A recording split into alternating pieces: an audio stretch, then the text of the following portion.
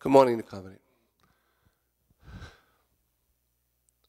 You know, this morning, well, actually, over the last week, when Pastor Jess, we kind of scheduled this, knowing that she would have the um, the actual seminar this weekend, and she asked me way back, and I said I would prepare something.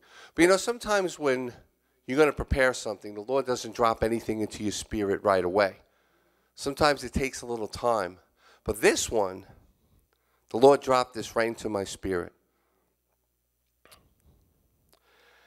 And the title of this message is How Do We Live a Crucified, Righteous Life in a Reprobate World? In other words, how do we do our best to live holy when all hell is breaking loose? Well, let's define what it says, what a reprobate means. The original reprobates were hardened sinners who had fallen from God's grace. In time, their name was used outside religious context for any person who behaves in a morally wrong way. So, in other words, back in the day, reprobate, reprobate comes from the Bible. But it was so evident to people when somebody was living so immoral that the world used that term reprobate as a term in the world back hundreds of years ago, thousands of years ago, when somebody was acting morally wrong, they would say that person's reprobate.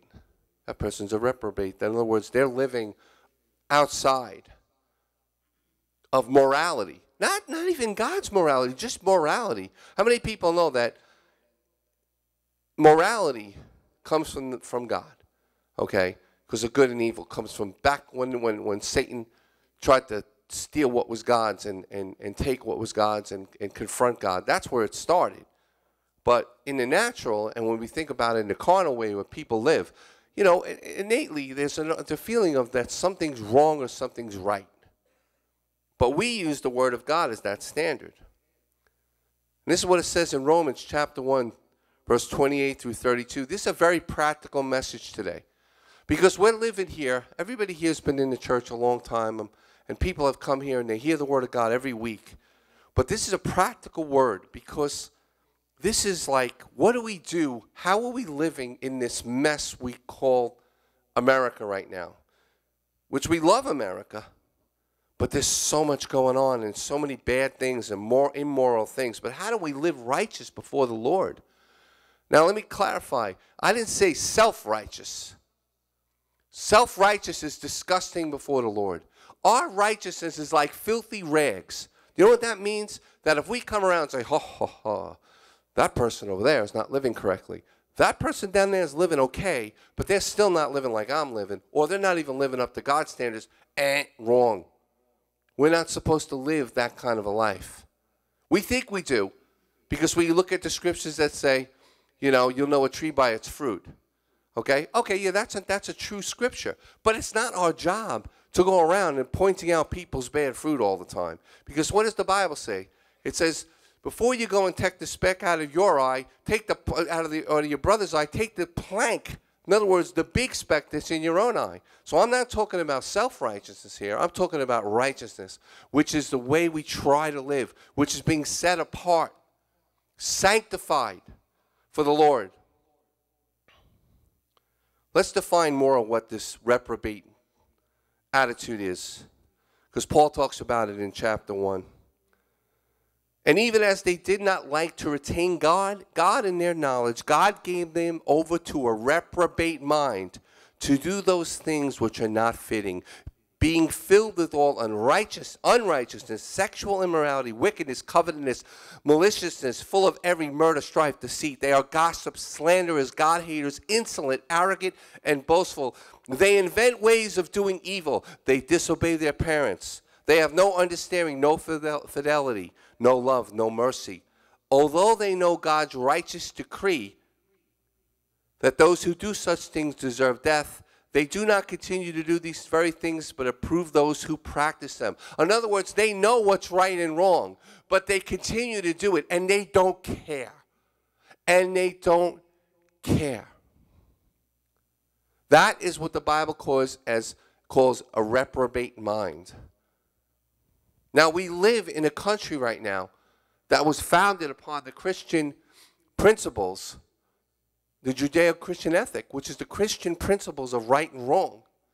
But now, as we see, as we live here in 2024, whatever today's date is, we're living here. We, we live, we see, we breathe, we have to live in this world. And remember, the last thing the devil wants for your life is to be effectual for God. He doesn't want us to be stuck in this reprobate situation and conform to that reprobate situation. He doesn't want us to, just because it's the, the society's norm, that as Christians, we're supposed to be affected by that. We have to live in it, but we're not of it. So, how do we do that? That's what I'm saying. It's a very practical, practical message. How do we live a life pleasing to God in this cesspool of what this reprobate world is living in right now? If you can go to 1 Corinthians 16 through 13, uh, chapter 16, verse 13, it says this Be on your God, stand firm in the faith, be courageous, be strong. Let's break that down. Be on your guard. So, what does that mean? When somebody's on their guard, they're not just sitting here letting things happen to them. They're guarding their heart, they're guarding their life, they're guarding their family. Be on your guard, stand firm in the faith. Not stand firm in, in, in mores in society. For years, Pastor Rob preached this message when it wasn't even this decadent. What, what, what you look back to 1995, 1997, and what, what, what sin was going on there compared to what's going on now, it's like, it's just such a tremendous difference. Pastor Rob used to preach these messages about society's mores and cultures, how it infiltrated the church, how it infiltrates our personal lives. Let me tell you that. The heat is turned up. The devil is trying to destroy everything that's good. Be on your God, stand firm in the faith, believing what we know to be true. Be courageous and be strong. Can you go to 1 Timothy, please? We're going to move quickly through so many scriptures here.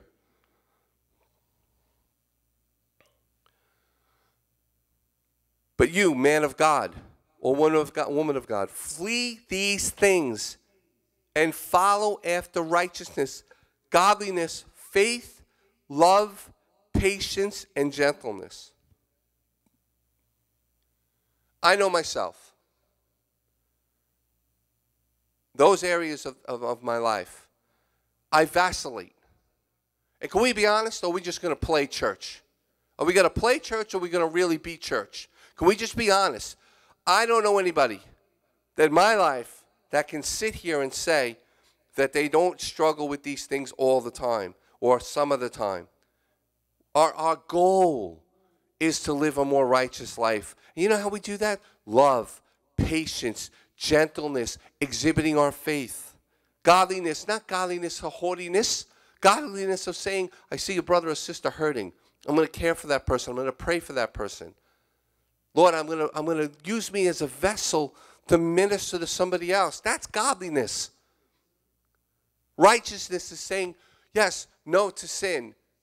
You know, but when we say no to sin, we can't just say I'm going to I'm going to up my upgird myself myself. Pray. Say, God, help me not to sin. These the Bible says it's the little foxes that small that spoil the vine. The little things in our life that spoil things in our life. The little foxes.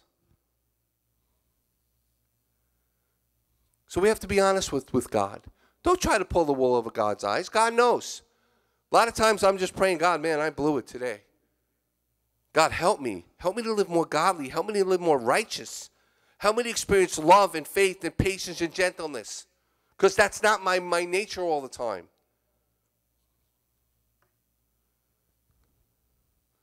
It says, He who follows righteousness and mercy finds life, righteousness and honor. The proverb shows, this proverb shows the rewards of an obedience God. When we live righteously and show mercy, result will be blessings from God. That's Proverbs 15 9. It says that, and it also says it in the Psalms. And how do we do that? You know, for years being a Christian, listening to messages and messages and messages, and I always, you know, know the scripture. It says, if we walk by the Spirit, we will not do the lusts of the flesh. We will not obey the Spirit and the flesh. If we obey the Spirit, we will not do the deeds of the flesh. So I'm going to read that. There's a couple of times it appears in the Bible. This in Galatians, if we can go to, I'm going to move quickly here. In Galatians 5, 16, it says, But I say, but I say, this is Paul speaking, walk by the Spirit, and you will not gratify the desires of the flesh. For the desires of the flesh are against the Spirit, and the desires of the Spirit are against the flesh. For they are opposed to each other to keep you from doing the things you want to do. But if you are led by the Spirit, you are not under the law. So, in other words, let's talk about this. Sounds so ethereal. I'm going to live in the Spirit. I'm going to live in the Spirit. All that, my, my mind, all that is, is in situations in our lives. Here, perfect example. When something doesn't go your way or my way, there's usually a reaction, unless you're dead you know, or just completely like removed from your life that you don't know, you know. But if you are alive and you have breath in your lungs and you could speak and talk, when something doesn't go your way, there's usually two reactions. It's either a reaction of of a negative reaction, and it's a reaction where it, it something affects us and we're just angry, or they're frustrated, or we're um, we're in a position where we just lash out, or we just get set, or we turn it inward. Sometimes we turn it inward we say, I'm such an idiot. I'm such a mess. What did I do? There's always a reaction when something doesn't go our way. Or there could be the other reaction, which is, Lord, this is not the way I, I thought this was going to go, but I'm going to trust you that you, I see the, I see in the end that your will will be done in this situation. That's walking in the Spirit. That's not entertaining the desires of the flesh because they war against each other. Because listen, God created us with emotion. I have this discussion with a friend of mine all the time. He's always beating himself about his emotions. He's always beating himself about how he feels. He's like, why did God make me this way? God, why did God make this? I said, God made you with a personality, but your emotions, we all have emotions, good and bad. But we have to submit that to the cross. We have to put those emotions on the cross because some emotions can be against the Lord. Amen? So I said to this person, I said, listen, you're confusing your emotions with your personality. Your personality is how God made you as a person. What bring what, what essence do you have? Some people's personality is, is very calm and they're very quiet. And then we call that like a type B personality, where they just they don't want to be in front of a lot of people. They just want to kind of like absorb and they want to do what they feel they want to do, and that's awesome. And some people are type A, where they're just, I gotta be up front. I gotta gotta do this. I want to be involved. I don't mind being in charge. I don't want to. I want. I have no issue with with taking control of something. That could be a type A. God God uses all types of people. There's even a type C. I don't know what that is, but there's a type C. So what it is is God creates us with that personality. As long as it's not an arrogant thing, it, He creates us that way. But our emotions are different, and that's where we get in trouble because we fly off the handle. I'm speaking about myself here. We fly off the handle and we get frustrated, we get angry when something doesn't go our way. Because our flesh bubbles up. Our flesh bubbles up. And it wants what we want. And it wants what I want and what we want. We want it right now the way we want it. We want it. We need it. We want it. It's my right. No, it is not. The Spirit says, give it up to me. Give it up to the Holy Spirit and say, Holy Spirit, I'm going to be led by you. What situation do you want me to kind of look, take a step back? Don't act on it. And it's hard. It's hard. But I've been hearing this message for a long time. And I think I'm finally getting it. I'm not practicing it, but at least I know what it is. Because I remember, oh, brother, you know, don't be led by the flesh, be led by the Spirit. Oh, thank you, sister. You know, praise God. You know, walk away and then nothing changes. But this is what it is. It's rubber meets the road Christianity. You're at work and you're supposed to have this raise, or you're supposed to have somebody give you something, and it turns out they gave it to somebody else, and you were deserving and they were not, how do we act? How do we react? Do we act in the flesh?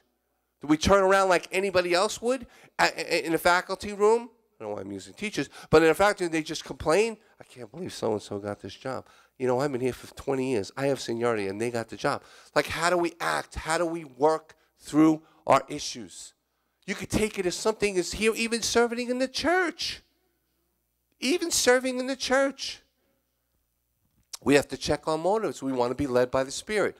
We want to be able to. It's not. I remember Pastor Rob preached this a long time ago. This is very funny, and um, he was preaching about this kind of a thing.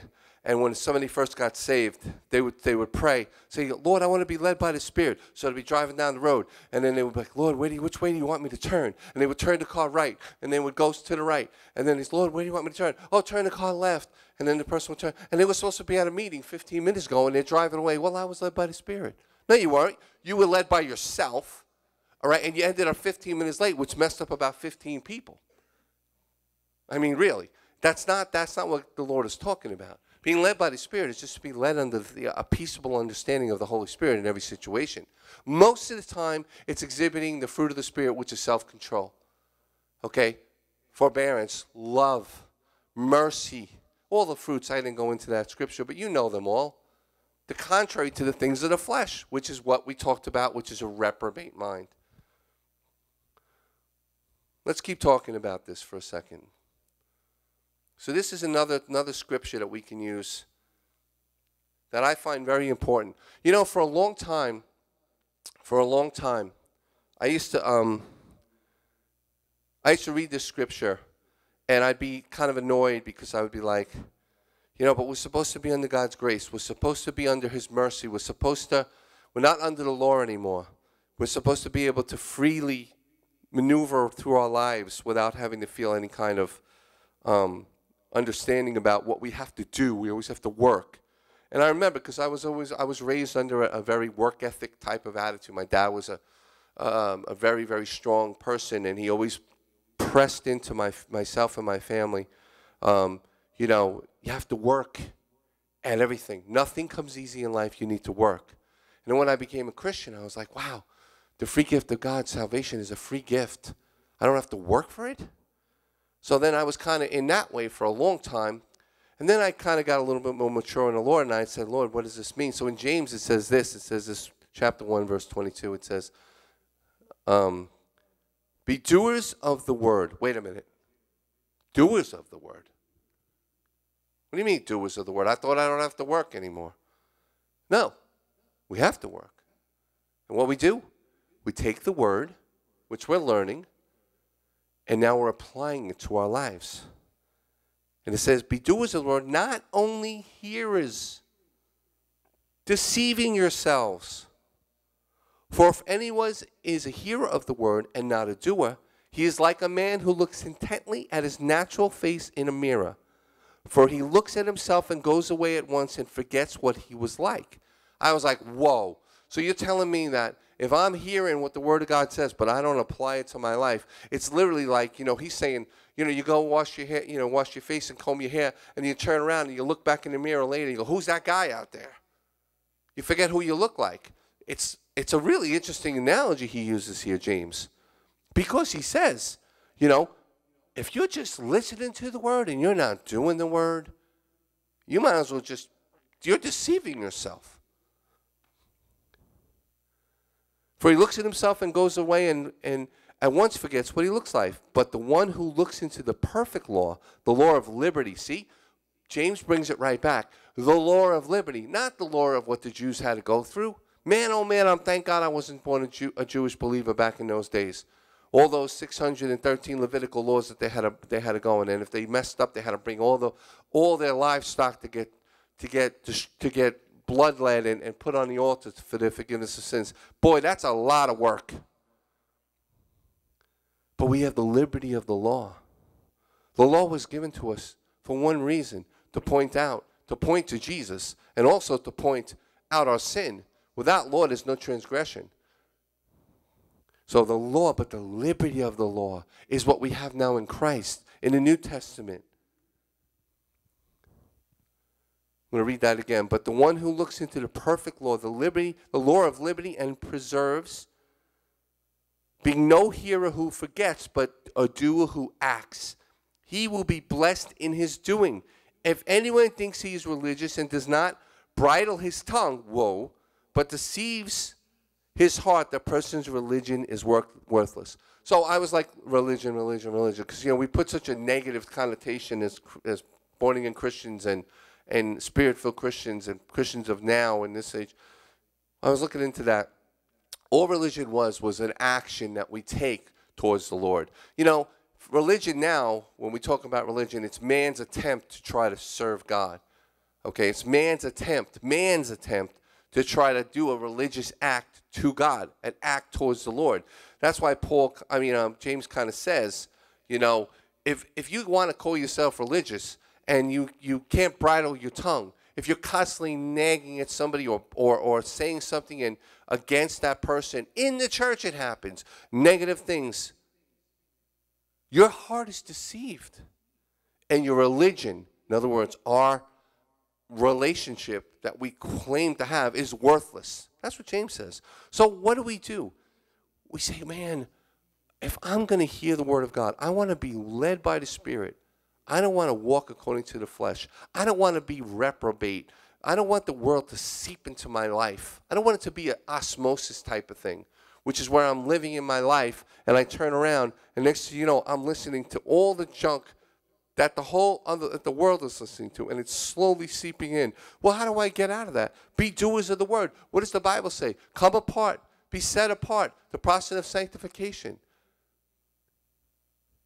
When you instead of being like the hypocrites who wash, who go in and they and they pray, they wash, you know, they they, they put oil on their face and they make themselves all disfigured, and they're out in they're out in the town and they're praying because they want people to see them praying and they're like the hypocrites. What does Jesus say? Go into your closet, go into your room privately, and seek God privately, and that He will reward you openly. And when you fast, don't configure your face, disfigure your face.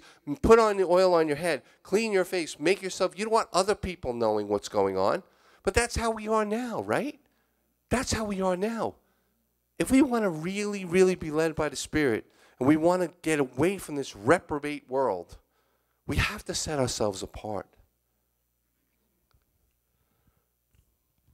And this is how I know I'm trying to do it. I read this earlier today, when for well, actually yesterday. It says this in Philippians 4, 8 through 9. Finally, brothers, whatever is true, whatever is honorable, whatever is just, whatever is pure, whatever is lovely, whatever is commendable, if there is in any if there is any excellence, if there's anything worthy of praise, think about these things. Wow. So you mean to tell me that I'm not supposed to be thinking about that the Yankees lost by two runs today and be aggravated? I should be thinking about these things, or I should be thinking, listen, we live in this world. We have to deal with nonsense all the time. Okay? But it's how we act to it and how we react to it. And we don't want to be dragged into the thought process of just normal life. Some things in life we can do. We have to go to work. We have to put gas in a car. We have to work to make money. We have to do all these things. We are in a situation where we are always bombarded by people that don't know Christ. So what do we do? I always find myself trying not to get angry. This is my biggest thing lately is trying not to get angry with the world for not acting like Christians. I still don't understand that. Like how do we expect people because I go back to before I was a Christian. Like, how do I expect somebody to, to act like a Christian when they're being bound by the devil? The Bible says that, you, you know, we're all held, before we know Christ, we're all held captive to do the will of Satan. We're not even realizing it. It doesn't have to be a person that worships Satan. It can just be anybody that's not serving Christ is being held bound. So I'm trying to my best. Like the other day, I was somewhere and this person was, I don't, it was a person that was really down in their luck, and and um, so to speak, and he was really, you know, he was screaming and yelling at people in front of the store, and I was like, Lord, I was like, this guy's like, I'm afraid, almost afraid to get out of the car because he was so like agitated. I was like, Lord, please, with whatever this is, you know, give me some sort of wisdom to how to deal with this, you know. and in the natural, I was just going to pull away, like goes to a different store, because you know he was confrontational, you know. But he was an older gentleman, and you could tell he was, you know, he probably didn't have a home. He was probably homeless. So he said, "Can you help me, brother? Can you help me, brother?" And and I said, "Yeah, just give me a minute." You know. So I went in. I knew that I didn't want to just give him something and go and walk in. So I walked out, and I was able. I had a few dollars, but I said, more importantly, I said, you know, God does love you. Do you know that? I didn't say to him, Have you repented for your sins? Because he would not know what's going on if I said that. I said, Do you know that God loves you? He goes, Yes, I do. And he goes, he goes, Yeah, big man, I know, I know. So I said, Are you sure that you know? Because he does. I said, Wherever you are right now, you know, he knows. And he loves you. Don't forget that. And he goes, No, no, I know, I know. Now he's had obviously a myriad of things going on. But I was thinking to myself as I'm as I'm I'm leaving after just I didn't have much money on me, but I gave what I had. And a lot of people like, well, you know, you're giving them money to drink. I'm like, listen, that's not what the Lord told me to do. The Lord told me to go and just say that to him. So I did what I felt I needed to do. I got in the car and I was and I was like, I gotta preach this Sunday. I said, man, oh man, I, I started putting this emotion on myself. Like maybe you should have done more. Maybe you should have went back. Maybe you should have bought him food instead of giving him money. Like we start going into this whole thing, and I'm like, I'm jumping out of my piece that I had because I'm always trying to, you know, I'm always second guessing. I'm like, I don't want to do that. So I remember the scripture. Whatever is true, whatever is honorable, whatever is just, whatever is pure, whatever is lovely, whatever is commendable. If there is any excellence in this, there is anything worthy of praise, think about these things. Think about them. Don't just know them, think about them. Think about them. So I was like, I'm going to think about it, God. I'm going to think, okay, I gave I gave the word, I gave your love, tried to try to give your love to somebody, and I'm gonna move on. I'm not gonna sit here and, and you know make it into something it's not. And I'm like, you know, at least I won't feel like too much of a hypocrite when I'm sharing this on Sunday, you know. So I just I just feel in this world we live in this reprobate world. How do we live in it, not let it affect us, but at the same time be able to minister to people. Because, you know, it's an old expression. I remember Pastor Rob speak, spoke this years ago. He's like, you know, the church, you know, church, whatever, the church can be with people, and then somebody will walk in and they're not saved, or maybe they're in the process of getting saved, or the God is drawing them. But you know what? They're not they're not dressed right, or they don't have the lingo right, or they just don't know what's going on. They've never experienced a church like this before. They've never experienced anything like this before. Well, that's kind of like an extension of how we should understand what the world is like. Because if we only are good in here, people, if we're only good in here on Sunday, shame on us. And I'm pointing right back at myself because we should be affecting the world. We should not let the world affect us in as the reprobate world affect us in the sense of the way we act in our righteous. We don't have to jump in the pig pen with the pigs to be able to minister to somebody. We can be contrite and be holy and say, God, I really feel that Lord put this on my heart. You know, look for a door, look for an open door there for, the, for you to share with somebody. It takes our will to exhibit these things. It takes us to line ourselves with God's will. It's, again, not you know the, the world in its reprobate mind would say forget about that person. They're a loser. They're a loser. Move on. You got to be a winner. That's what the world says. It's all about you. How could you give some money to somebody? You don't know what they're doing. You need money. You don't have a lot of money. How come you're giving your money away? These are the things that the reprobate mind says. But the spirit-led mind says I'm just going to trust you, Lord, that if I do this, something good is going to happen. Because it says it all through the Word of God. Says when we share the, wor- the Word, it doesn't return void. When we share the gospel, it goes out and it pierces hearts. We don't even see it, it's supernatural.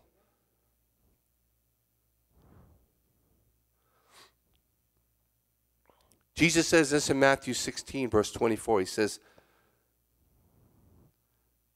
he's, This is Jesus speaking. He said, to his disciples, If anyone desires to come after me and be my disciple, let him deny himself and take up his cross and follow me.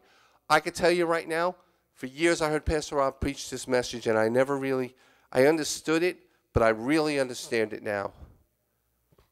It's about what we're talking about. It's about the idea of a reprobate world trying to infiltrate a Christian's heart and a Christian's mind, but we have to say no. If you want to be a disciple, if I want to be a disciple of Christ, if I want to follow after Jesus, he must what? Deny himself and take up his cross and follow me. In other words, it is a little bit of a life of denial. We have our free will, but it's also a life of denial. It's a life of standing firm. What it says when I first read, be strong. These are areas of our lives that, you know, the Bible talks about. Paul talks about don't go don't grow weary in well doing. Because we're constantly trying to pick up our cross and follow after him. We want to hear, well done, now, good and faithful servant. How many people want to hear that when they go and they be with Jesus? That's like, I just lost a very close friend of mine who used to say this to me. I'm going to tell you this story. So, a good friend of mine passed away very young recently. And um, we used to talk for hours about the Lord. And you know, he'd always say the same thing to me. You know, I just want to hear that, well done, thou good and faithful servant. That's all I care about. And I'm like, yeah, yeah, you know, I'm not thinking about it. And uh, but I'm not kidding you. Every single time I talked to him, we would talk about the things. I just want to hear that well done and good mind. And then he died, young, re- unexpectedly. And I know that I know that I know that he got that.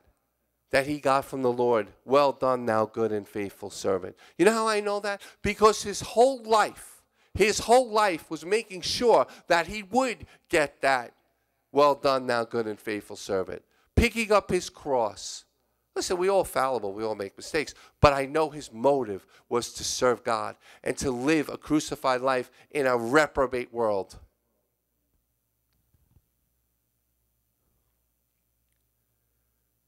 More scriptures on how we do this.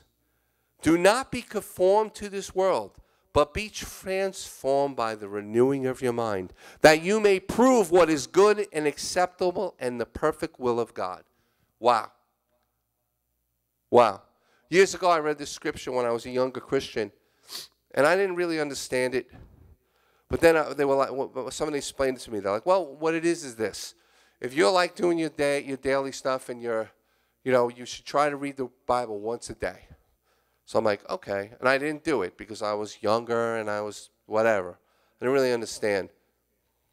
And I was, he was, and this person was like, you know, you're not renewing your mind. I'm like, what do you mean? Like, what do you mean by renewing my mind? And he says, well, you can only renew your mind on what is truth. And the truth comes from the Word of God. So what we do is we renew our mind on the Word of God. In other words, he explained to me, he said, you think this way when you first came to Christ. And we got to get that stinky thinking out and get the godly thinking in. I was like, oh, wow, that makes sense. In other words, conform or take on the world is what we've been talking about. We can't take on the precepts and the mores of this world. We need be, to be conformed to Him, not to the world. And we will be tra- when we do that, when we share with God and we spend time with God. Pastor Rob, I can hear him ringing in my head. He used to tell me all the time, you know, I said, What did you do today? He said, God, I just got alone with God. You know, he would just go and walk away and get away. Now, he had a lot of time to do that because, you know, he didn't have to go to a job you know, when I him, well, it's easier for you, you have, and he goes, he goes, no, it's not. He said, I used to tease him. I said, oh, yeah, sure, you, you, you don't have to go to work at 8.30 in the morning. He says, I'm working all day long. And I used to tease him all the time. And that's the kind of relationship I had with him because I would, you know, tease him. And he's like, he's like, but you're right. He goes, I have more time to do that than other people. He was honest. He said, I do. I have more time to do that.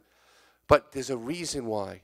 Because when we get alone with God, he could speak to us in that still small voice and He can help us at that time, and we can conform and be transformed and not conform to the world, but be transformed by the renewing of our mind through the Word of God.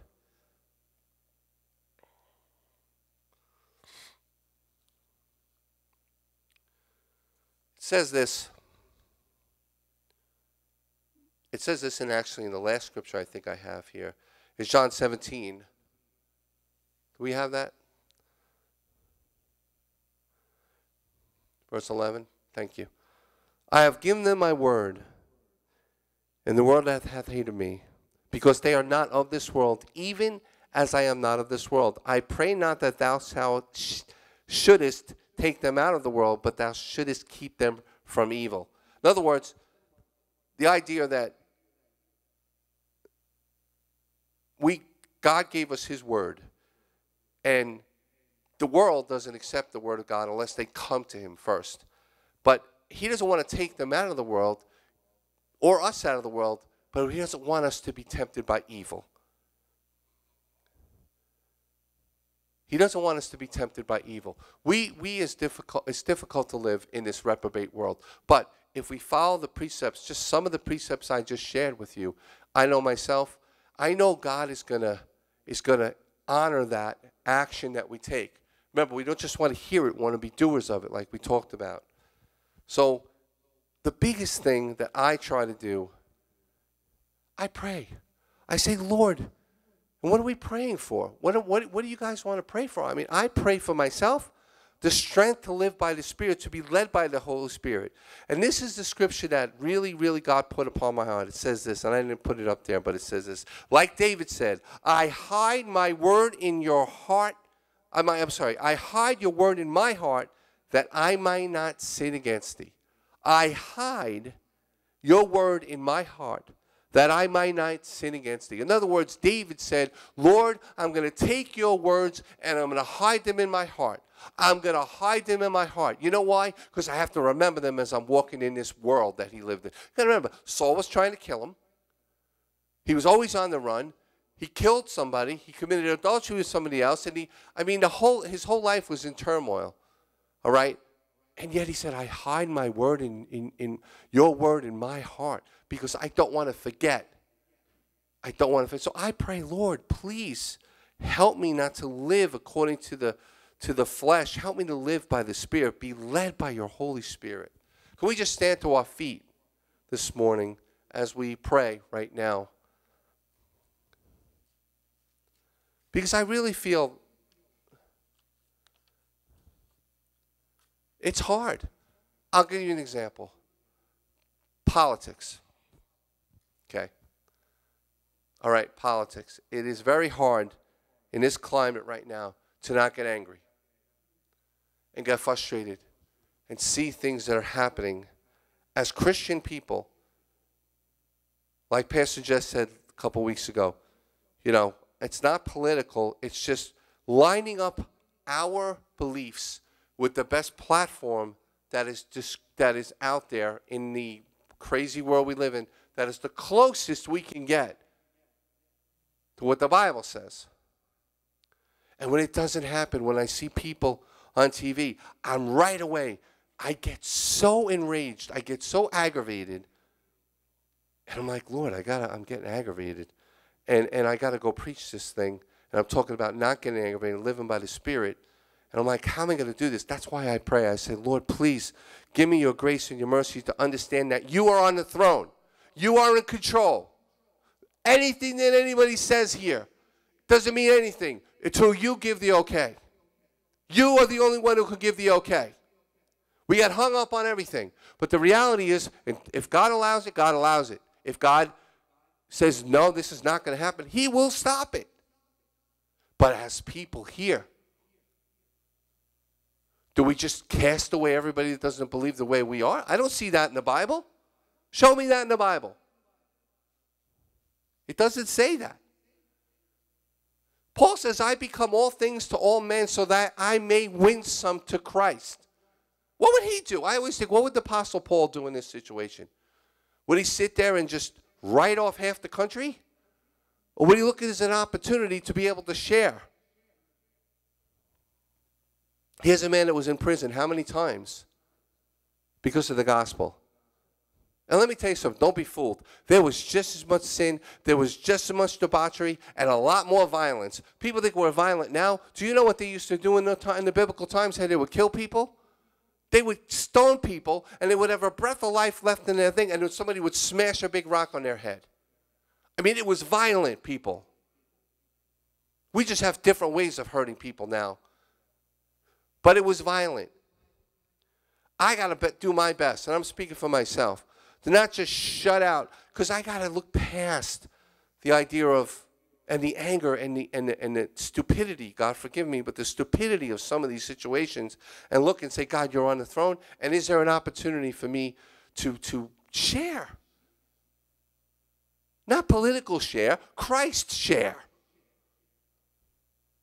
Ouch. I'm saying ouch to myself because I find myself getting with like minded people, and all I'm doing is just bashing, bashing, bashing, bashing, bashing. I know that ain't being led by the Spirit. And I'm being honest, I'm being transparent here. How many people want to pray to be led more by the Spirit, to not be conformed to this crazy reprobate world? Let's, let's bow our hearts. Lord Jesus, we come together this morning, Lord. Lord Jesus, we need your help. We need your help to stay in your righteousness, Lord.